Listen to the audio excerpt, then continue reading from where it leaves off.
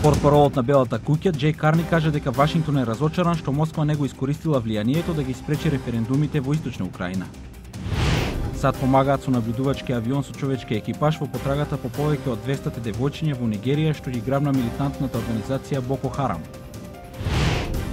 Државниот секретар Џон Кери соопшти дека САД се длабоко загрижени поради тоа што Кина подигнала нафтена платформа во Јужното Кинеско море, во област на која право полага и Виетнам.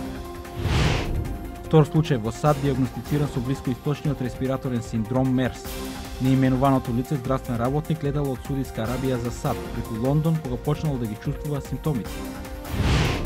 Плейоф во NBA, Мајами Хит поведе со 3-1 во серијата најдобар од 7 против Бруклин Нетс. Портланд Трей Блейзерс со победата над Сан Антонио Спурс намали на 3-1 во серијата.